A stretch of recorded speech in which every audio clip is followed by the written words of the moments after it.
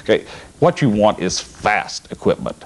Uh, you want a fast CD-ROM drive so you're not waiting for data to be transferred into your computer from a CD. You want a fast 16-bit sound card that won't stumble over sounds. You want a fast uh, Windows accelerator card so that all the video moves smoothly. And the last thing you want are good speakers. There are a lot of shoddy speakers out there, but you want the same quality sound you have with your stereo. So make sure you get good speakers too.